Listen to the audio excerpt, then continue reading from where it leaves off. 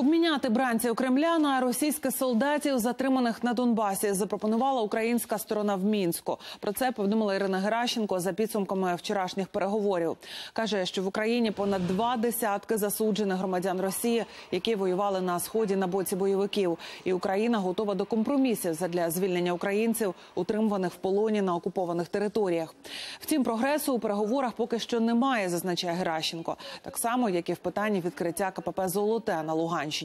Ватажки бойовиків блокують будь-які контакти українців з окупованих територій.